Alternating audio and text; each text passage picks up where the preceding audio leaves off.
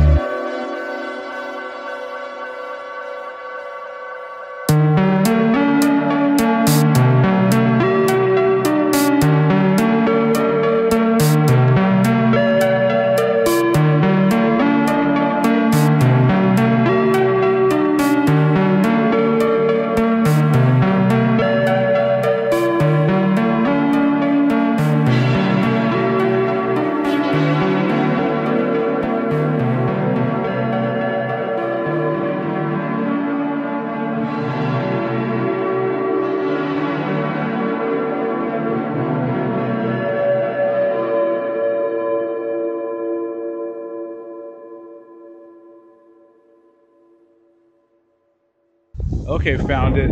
Got smacked by Joe Mama. Were you on 6S or 3S? 3S. Oh, okay. Were you on 6S? I was on 6S, but I'm still, honestly, if I race myself, I don't know which one would be faster because I'm, I need to do more 6S today to get used to it. Yeah, to,